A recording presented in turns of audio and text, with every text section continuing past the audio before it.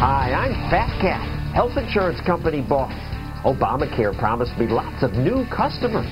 But wait a second. It says here I have to cover diet counseling, alcohol rehab, birth control, maternity care, and more. I'll have to raise my rates or I'll lose money. Unless I can get you taxpayers to bail me out.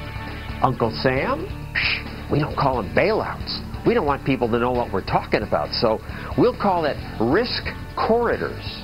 You know, whenever there's risk, Uncle Sam will race down a corridor with lots of your money and give it to companies that the politicians want to please. Here, have some tax money. See, isn't Obamacare great? It's not just Obamacare that controls us. Here. The administration, in its eagerness to pass a law that would let government rule over health insurance, wanted to make sure it had insurance companies on its side. How could it do that? Because Obamacare forces insurance companies to cover much more stuff. Insurers knew Democrats wouldn't allow them to sharply raise their rates to pay for this. Tell insurance companies, if you lose money, don't worry. We'll bail out. Bailouts to big companies, especially insurance companies, are unpopular. So instead, the administration used an obscure insurance company term, risk corridors. That's why I embarrassed myself by dressing as Uncle Sam and doing those silly stunts. Risk corridors sounds meaningless. You can't get your brain around it unless you watch someone demonstrate it. But is it really this bad? Am I exaggerating? Let's ask the healthcare specialist Betsy McCaughey. Is it really this bad? It is. It is corrupt. You're fooling the public using the public's own money. You're saying to these insurance companies, price your plans lower than what you actually need to cover your costs, and we'll come around to the back door at the end of the year with John Q. Public's money to make to offset most of these losses. There it is in Section 1342. And then worse than Betsy that, carries Obamacare with her wherever she right. goes. And this is why it's so telling. This bailout expires right after the 2016 election. They didn't want to make it permanent because permanent bailouts to companies would be really horrible. But it expires after he leaves office. That's right. So the plans are supposed to look affordable until he's out of office. But everybody knows the insurance companies couldn't possibly price them that way. They have to cover, as you pointed out, so many extra things. Alcohol rehab coverage, drug addiction coverage, diet care, obesity treatment, talk therapy, birth control, wellness visits. Lots I mean, some of things people want nobody this. wanted to pay for. It's like passing well, a some people wanted to pay for them. Sure, but most didn't, or they would have been in the plans to begin with. It's like passing a law that the only car you're allowed to buy is a fully loaded Cadillac. Obama sweetened the risk corridors after the law was passed. Let's not use the word sweeten because there's nothing sweeten about violating the Constitution. What he did was to enhance the, these risk corridors and offer the insurance companies even more than the law allows, circumventing Congress and offering it all by himself because he had said, you can keep your plan a year longer. And the insurance company said, that's going to cost us a bundle. And then the president said, don't worry, we'll make it up to you quietly with John Q. Public's money again. But let me tell you something, John. Well, and we are entering the perfect storm for repeal, and this provision, Section 1342, ought to be the first thing repealed. He told the insurance companies, uh, the bill says the permissible profit margin is 3%, now it's 5%. Yeah, that's a big increase, and and plus insurance companies can uh, can incur expenses other than your health care, such as salaries and profit margins that they didn't have before. So it really did sweeten it for them, but it violated the Constitution because the president is not allowed to change the law by himself. So it's bad enough it was in there. He Right. illegally raises it. And there's just about no reporting on this because it's boring. Bailouts you can get your brain around, but risk corridors. Well, and they were very deceptive. They took an insurance company term, risk corridors, and pretended it was the same thing, but it's not. Thank you, Betsy. Uh, of course, Obamacare happened in the first place because Democrats and some Republicans, let's not forget Romney Care, think consumers can't be trusted to arrange for their own health care. Some people don't buy health insurance, or if they do, the plans they choose they aren't good enough. Some people wait till they get sick, and then they rush to high-cost emergency rooms. And whatever we think, whatever we critics of Obamacare say, it is true more people now have health insurance. The final score speaks for itself.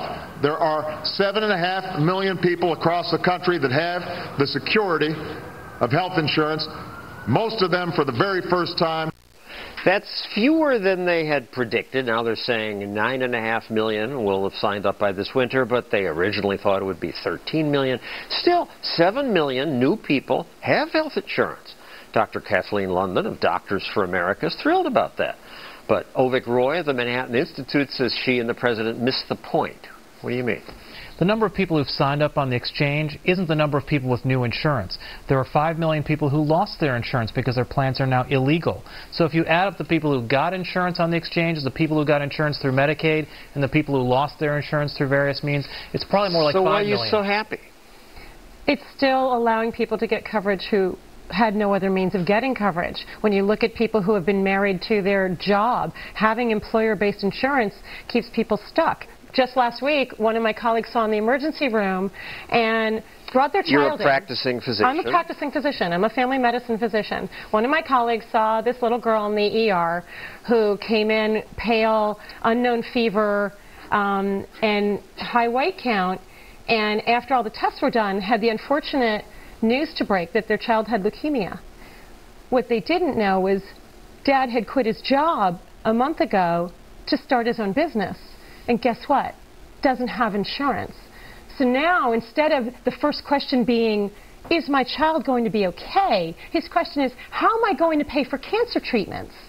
Yeah, Avik, what do you say to people I mean, like that? It's not everybody can pay for expensive health care. It's a great point. So free market advocates for a long time have advocated just that kind of a system, where instead of getting insurance through your employer, you own that tax break yourself and you can shop for whatever plan you want and you can take it wherever you want. The problem with Obamacare is that actually the, the story you just described is the exception. The much more common scenario is that the law actually discourages people from staying in the workforce because in order to maintain those benefits, their income has to be so low that it, they can't actually seek real work. I was there in 2007. I was living in Massachusetts and had my own practice there when Romney stood up with the Heritage Foundation, very similar to the think tank you work at, when the individual mandate was yeah, that lauded as a she's wonderful right. This thing. came Yeah, from so- a Republican so think tank. This So why idea. is it now bad in 2014? Please explain that to me. The average price of an individually purchased health insurance plan is 49% higher today than it was last year because Obamacare mandates and regulates how insurance plans can be designed. Is it apples to apples? Because that's not what you're seeing out of Kaiser. Because a lot of those plans that were around before were the ones that, oh, went away when you really needed them. so that's buyer not true. beware kind of insurance. That's and factually not, not true. thing. And if you really want to be fiscally conservative, you go to single payer. Yeah, no. And are we ready to swallow that as a country? So- Single payer, the government just pays for everybody. Well, no, no, no, gives no, all no. of us whatever we want. No, it, it's not. It's saying that. So it's saying that we're going to set uh, the the things that are absolutely necessary: preventive care, urgent care. Things like that, and then that we would have insurance for the rest of it. It is what every other industrialized nation does, and does it very well. They freeload off us. They don't innovate. That's not true. Great- I'll great give you point. another example of another patient, another real world story. A woman being wheeled in, having a heart attack, being wheeled into the cath lab, which is what we do. When somebody has a heart attack, we take them right into the cath lab, who yells, Stop, wait me, let me see if my insurance covers this. Her f- husband had died four years before. She has a 16 year old, doesn't want to leave her children with giant medical bills. What about the 29 year old no, taking no the wrong hospital hospital? Here's- John, refuses here's- to treat the Here- truly here's the issue. needy. Here's the issue. No, Here's the exactly. issue. That, well, they'll if they'll you're leave having you a heart big bills. attack, they're going to treat you. The number one cause of bankruptcy in America is still medical. That's, that's not true. So, but here's the thing: If you want to have catastrophic insurance to protect Catas- people against the financial loss. But wait, just let, me- let me talk for a second, okay? You've had a lot of time to talk. So, for routine healthcare expenditures, you don't need insurance to pay for that. It's like if you had car insurance that paid for gasoline and wiper fluid and tire changes, then your car wash 'Cause would cost a lot more money. So, that. no, look. So, if you look at the countries in the world where they have a system where they don't insure for those routine expenses, healthcare costs a lot less than it does in America. It's like the difference between an open bar and a cash bar. If you go to a cash bar, you get the Bud Light or the house wine. If you have an open bar, if it's the in-laws' wedding, you're going to get the single malt scotch. But and that's people way our don't healthcare When we had that before, people don't do their preventative care. That's the issue, and they wait till it's very expensive to come treat it. That's- Where that's not if you come in true. right before your diabetes is out of control and you need an amputation, it's a whole lot easier But for it to there's be treated. no evidence that preventative care is saving Oh, America any absolutely money. does. Our most recent, the states that expanded Medicaid, we now have a much lower preemie birth rate. That's That- right there. That's a, that's, that's- and that's, that's- sixty People are a day. also getting initiatives. all this false treatment for stuff that would have never become a problem because the doctors say, oh, this might happen. They overtreat. We could have a rational insurance system in this country that protects people against catastrophic financial loss, but allows them to pay for routine health expenditures, driving those costs down. That's not what we do, and that's not what Obamacare does. Obamacare forces forbids it. You can't Obamacare have too forbids big a it. deductible. That's exactly right. So Obamacare actually doubles down on all the things that are bad about the system now and just spends more money on it. And I see why you like it because you have patients who are getting paid and they're coming in and getting everything. But how can America afford this? we, it was the first step, and it was the best plan we could get through that Congress. Thank you, Avik. Kathleen, to join this argument, please follow me on Twitter at FBN Stossel. Use the hashtag No They Can't.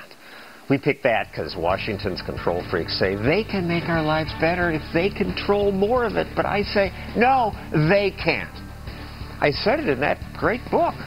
We individuals make our lives better, but for the most part, Washington can't. Anyway, please tweet us or like my Facebook page uh, so you can post on my wall. We want to know what you think. Coming up, how Washington's control freaks use this little animal to torture property owners. But next, some of the businesses that freak out the control freaks.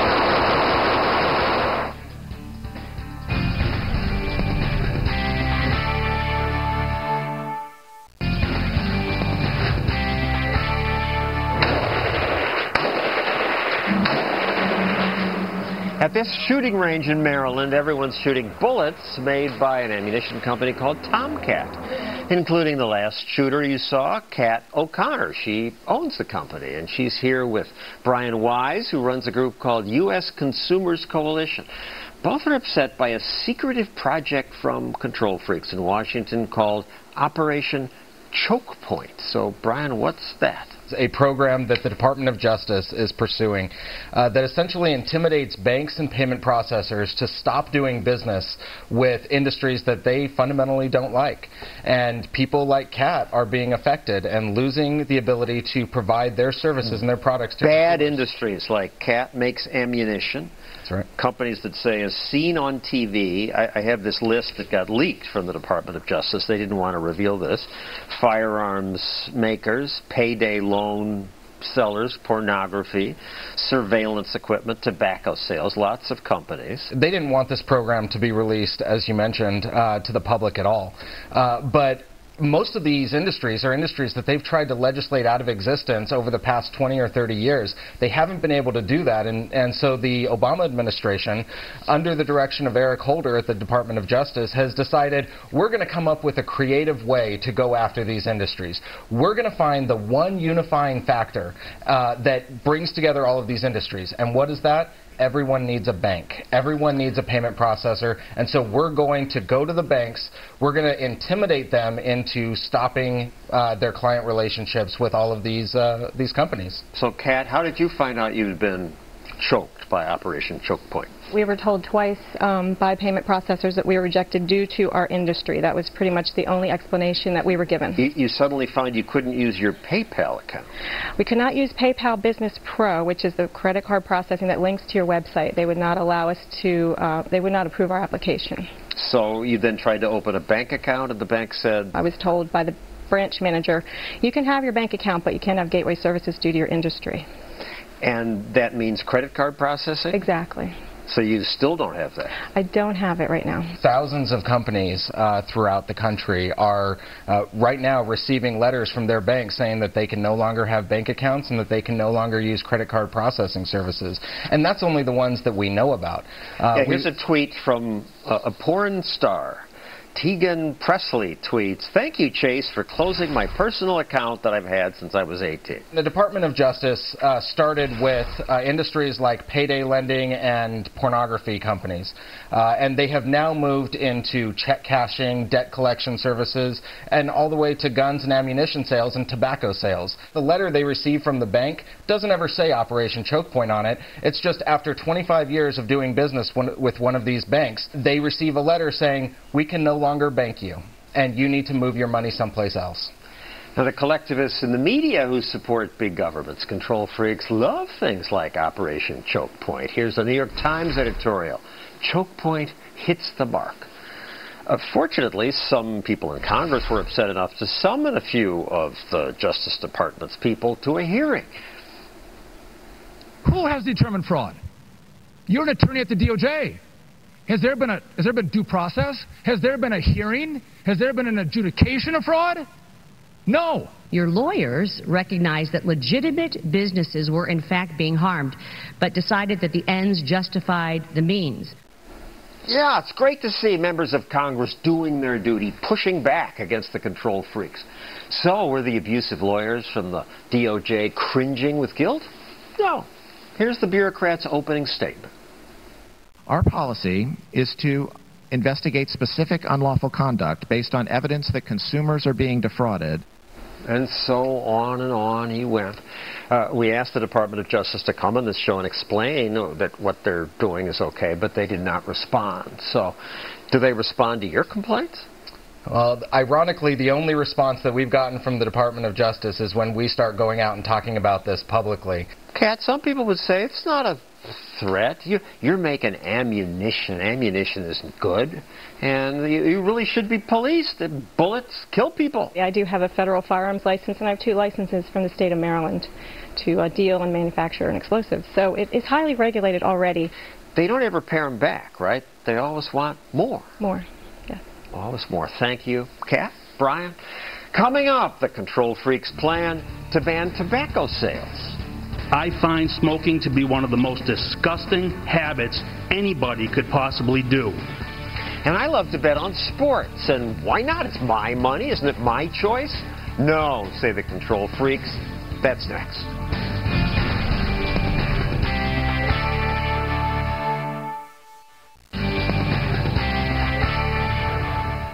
Governor Chris Christie signed a bill that partially legalizes sports betting in the Garden State. Okay, it's about time. Millions of us bet on sports. Finally, some politicians will make it legal. Except they only want to legalize betting in casinos and other state controlled facilities. And even that was too much for the control freaks. They threatened lawsuits. If someone wants to stop us, then they'll have to take action to try to stop us. And they did. The big sports leagues, the pros, sued to block legal sports betting in Jersey, and a judge did stop it, at least for now. People I interviewed in Times Square agreed government should prevent us from gambling. Should betting on sports be allowed? Never. But you should not be able to bet. It encourages people, poor people, to spend money they don't have. It does, sometimes. But aren't free Americans allowed to do what we want with our own money? No, says Rob Walgate of the conservative think tank American Policy Roundtable. Why not? Well, people are free to gamble on sports. It's legal in this country in spots right now, John. If you bet with a friend, or if you have a friendly poker game, no house taking the cut, it's legal in some parts of the country, not all. In some parts of the country, but what Chris Christie and others have tried to do is clearly illegal, and they've tried to get around it by passing laws and forcing court actions.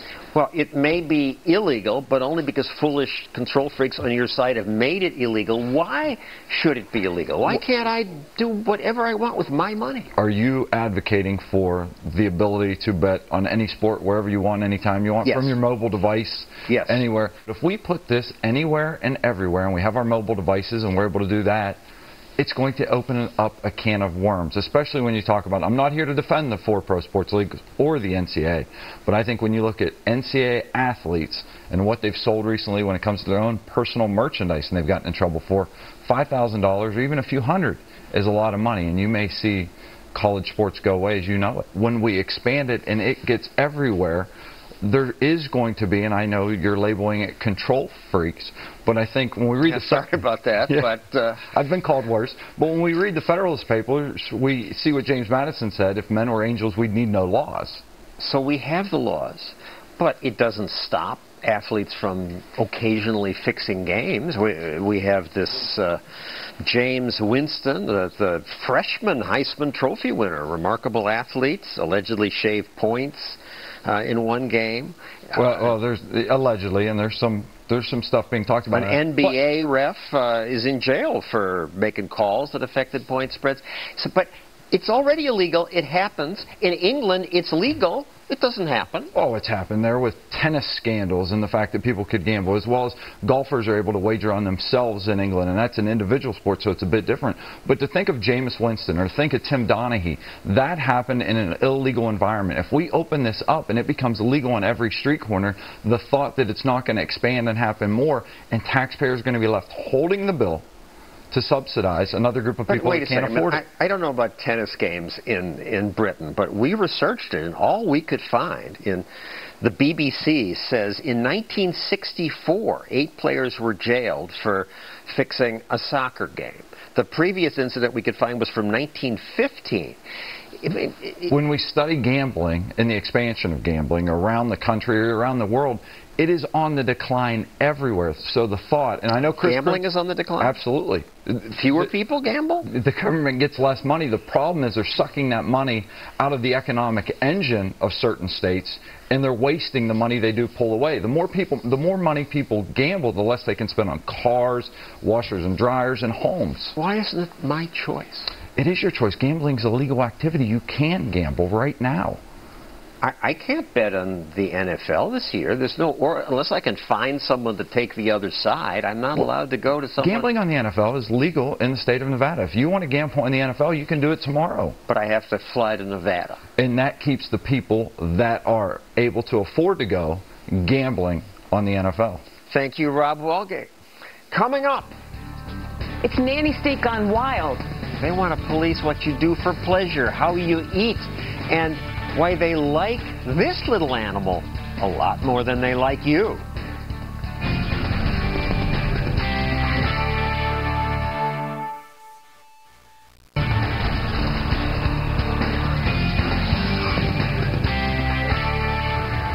The nanny state is alive and well. It sure is. And the control freaks always want more. They want to protect us from ourselves by limiting what we eat, what we do for pleasure, even how we give to charity. They think it's their duty. And I admit I was guilty of this kind of thinking. As a young consumer reporter, I did all this research on what doctors said was bad for us, and I wanted to help stamp it out. After all, lives were at stake. And people have lives. They don't have time to check everything out and find out what's harmful. It's important that the state protect us. The concept of individual freedom was not on my radar screen. Uh, I apologize. I was ignorant and arrogant. But at least I had no real power. I couldn't force consumers to avoid unhealthy things. I couldn't force any business to stop selling something. Only government can do that. And sadly, government's filled with people just as ignorant and arrogant as I was, but they do get to use force. Economist Matthew Mitchell covers regulation for the Mercatus Center, and he wised up to the damage control freaks much more quickly than I did. But you know, these regulations do save lives. The truth is, a lot of these regulations have a lot of unintended consequences. So, take uh, you know seatbelts. This is often argued. Surely seatbelts save lives. This lives. is the best one that's always thrown up against libertarians. Sure. Look, you know, thousands of lives saved. Sure. So, uh, if you think about the cost that you bear for driving recklessly, right? If you lower the cost of driving recklessly by, for example, making it less likely that you'll be injured when you drive recklessly, people will demand greater speed, right? So it turns out there's a famous study from 1975. An economist named Sam Peltzman looked at the data, and he found, sure enough, after the introduction of seatbelt laws, people actually drove rec- uh, more recklessly accidents increased. Now, the probability of getting injured during an accident did fall, but the two effects roughly canceled out. But there's one, one, one factor that, that uh, wasn't canceled out, and that is that pedestrian deaths and cyclist deaths, who of course are not uh, protected by seatbelts, those rose. Consumers make trade offs in other ways. If you mandate that all new cars have to have all kinds of expensive features, for example, backup cameras, now this discourages people from buying new cars. So now you drive around on clunkers that are more dangerous for other reasons. Let's talk about secondhand smoke. Um, I'm amazed by how willingly people just give up freedom. That it, it started by saying some bars would could ban smoking, but now in 24 states, smoking in bars is illegal in every bar. Right. Can't the smokers have some bars? All right, well, so this is another one where there's unintended consequences. Those areas where they introduced bans on smoking, uh, actually you saw an increase in accidents related to uh, alcohol. The theory is that um, people are driving longer distances in order to find bars that either have outside seating or are outside of the jurisdiction. And were you surprised that smokers didn't resist? People Yeah. just give it, give up. I mean, I don't smoke. Mm-hmm. I don't mind it, but a third of the country did at the time. Yeah, it is interesting how quickly people are willing to give up their freedoms. But that's not what America is supposed to be about. And now some control freaks in Massachusetts want tobacco sales banned altogether. Officials in Westminster want to make it illegal to sell all tobacco products to anyone, including adults. Last week, the town held a hearing about that. 500 people showed up. I like what this guy said. I find smoking to be one of the most disgusting habits anybody could possibly do. On top of that, I find this proposal to be even more of a disgusting thing that anybody could ever give any town in the United States of America. Yes, eventually, nervous town officials there even shut down that meeting. But maybe people are wising up now and saying enough. Well, you know, we often think are accustomed to thinking about the federal government and federal overreach, but the truth is that a lot of the most intrusive regulations happen at the local level, just like this. The regulators at least can make a pretty good argument that smoking hurts people and seat belts save lives, but the regulators always want more things like you mentioned. Mm-hmm. Beginning March 12th, sugary beverages will no longer be sold by food establishments in portions greater than 16 ounces. That was my control freak mayor a couple years ago. A court threw out his soft drink ban, but the proposals keep coming. Recently, Berkeley, California passed a tax on sweetened drinks.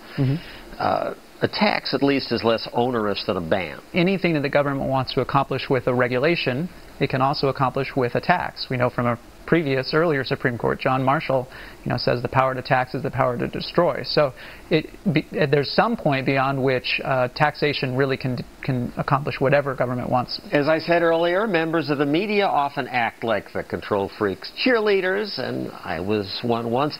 MSNBC, of course, is still one. But now maybe the nanny state's gone so far that even the most ridiculous people get upset. Is feeding the homeless a crime? A new law in one Florida town says it is. Two pastors and a 90 year old volunteer are facing jail time after they were arrested for feeding the homeless. What? Really? Well, yes, Fort Lauderdale passed rules on public food sharing, how and where you can give people food. And boy, when Al Sharpton gets upset about the nanny state, they really have gone overboard. We emailed the mayor. He told us the 90 year old man was not arrested. Uh, what's your take? This is a guy, he's been feeding the homeless in a park for over 35 years. He's a chef. He yeah, dresses. He's a chef. He's been doing it. Um, the, the mayor's take is that he, he, he's not trying to outlaw this, he's just trying to make it safe. Simple economics tells you, however, if you raise the cost of giving food away, people are going to give less food away, and homeless people are going to find it their their next meal is harder to come by. But this one I think is my weakest case, and of course that's the one Al Sharpton embraces, because there is something called a public square. In, in Florida, merchants were saying we got all these vagrants. They're urinating in front of my store. The diners can't eat outdoors. The the town gets to police the public square. hmm So I think you can make a much stronger case for regulation in a public square than you can in a private bar and a privately uh, uh, owned um, piece of property. Uh, in this case, you know, it, it may be possible for them to find another place for them to feed the homeless. Thank you, Matthew Mitchell of the wonderful Mercatus Center. Next, the control freaks, as always, want more. We have another hole over to the side. They say if these guys visit your backyard, you don't really own your property anymore.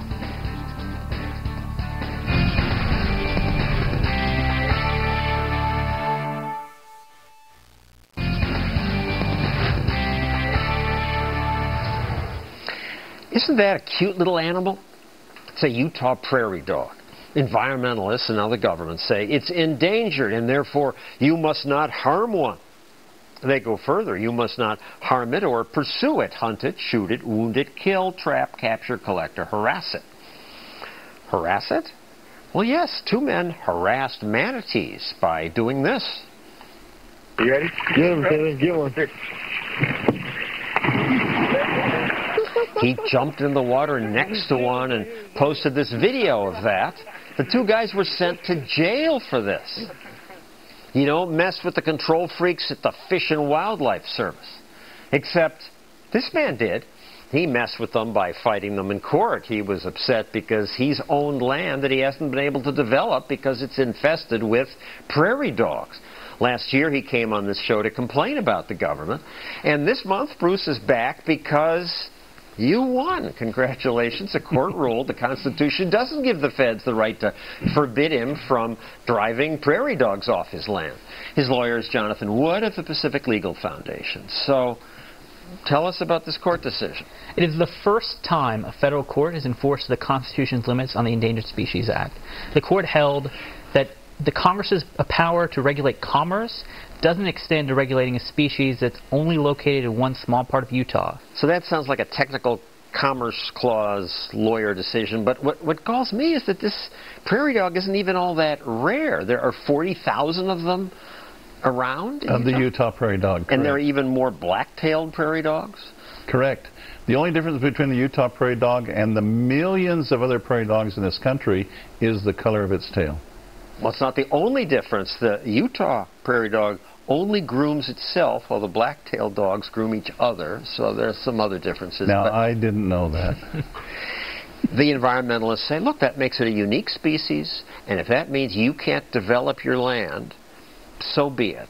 We're not being governed by laws from Congress or the judiciary from the courts. We're being judged by laws written, administrative laws written by bureaucrats. And so a bureaucrat can tell me what I can and cannot do with my own property, and then they hold a big hammer over my head to make sure that I do it. The fine for prairie dogs, if I were to harm or harass even one, is $10,000 and five years in federal prison. For one, and you have about 85 on your property. Correct. There, there's there's a process to remove them. There's a waiting list. There was a waiting list that took about three years to get to the first of the list, and then I could remove 10 of my 85 prairie dogs, and then I went down to the bottom of the list again and had to wait. So in reality, it was an impossibility to ever rid myself of prairie dogs.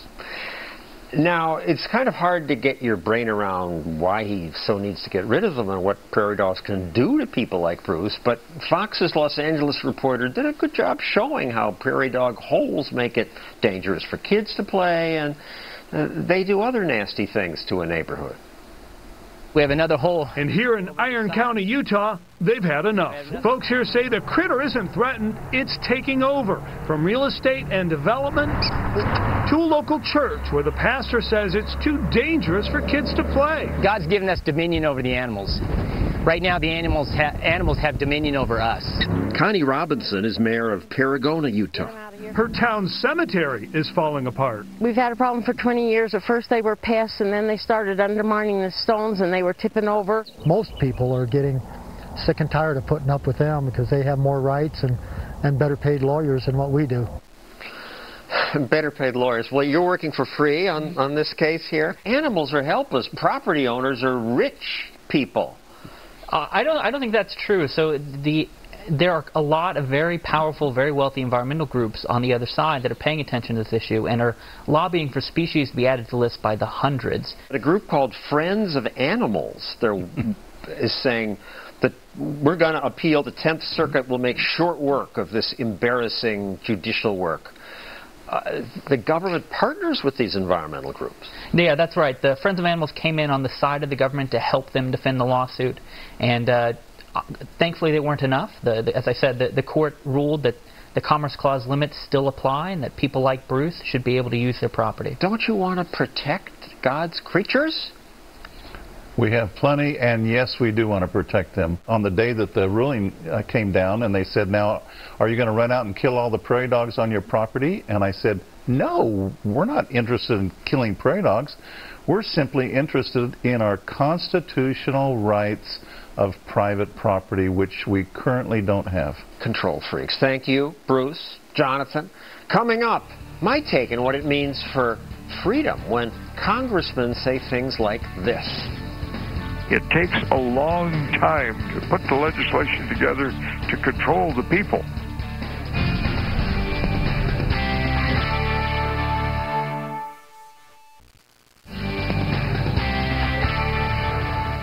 Do you notice I opened this show with a clip of a congressman saying this?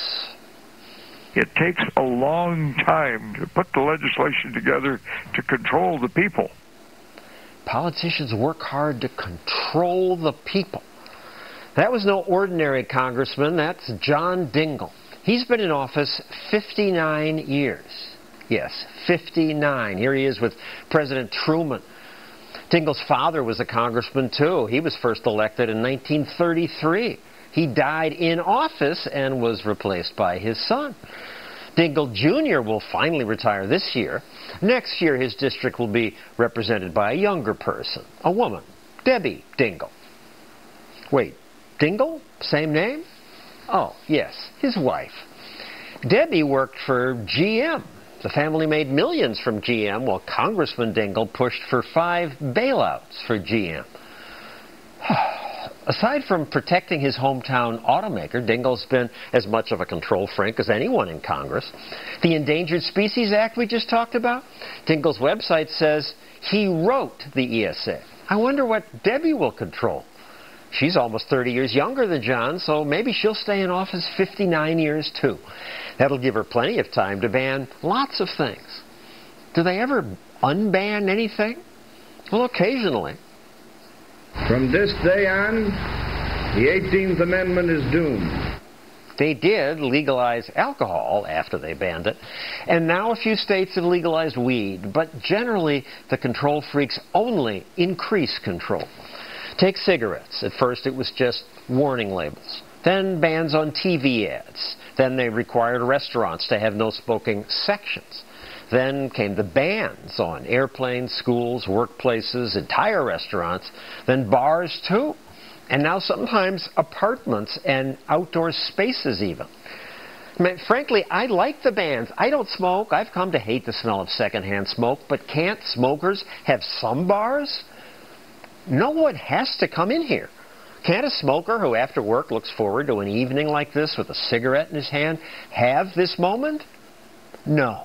In about half of America, this is now illegal, and state by state, the smokers just take it. And by the way, the secondhand smoke scare turns out to be bunk. But the smokers still take it. When the nanny state gives its commands, most everyone quietly just gives up his freedom. That's why I was encouraged by last week's town meeting, where after that town wanted to ban all tobacco sales, hundreds of people showed up and complained. I find smoking to be one of the most disgusting habits anybody could possibly do. On top of that, I find this proposal to be even more of a disgusting thing that anybody could ever give any town in the United States of America. Maybe that pushback will stop that ban in that town, but the control freaks always want more. There are about 50 cities with their own plastic bag ban. A ban on large capacity ammunition magazines. Boycott the sale of alcohol. You should be banned from coming to the United States. We should use every reasonable precaution. It's always more. On this show, I talk a lot about economic freedom. The world now knows economic freedom is what creates prosperity. Prosperity is a big deal, but the free part, which sounds a little vague, is just as important. Individual choices matter. I object to restrictions on choice not because I like choice or not just because I like choice. It's a moral objection. When government limits our control over our own lives, we become less. Something changes in our character. We become smaller. People on the left and right believe government should promote good things discourage bad ones. If you're on the right, maybe you think government should promote marriage or religious charities. Maybe you think it should ban porn, pot, and violent video games. But if it's government's job to promote what's good and suppress the bad, that's a license for the control freaks to stick their noses into everything we do. Politicians and voters can dream of controls in our constantly changing world. No more destructive gambling. Every prairie dog is preserved. High interest loans vanish. Your health care is paid for efficiently by strangers in Washington. Politicians can dream about that, but they can't do it. No, they can't, and they shouldn't try. As Frederick Hayek said, the curious task of economics is to demonstrate to men how little they really know about what they imagine they can design. They can't. That's our show. See you next week.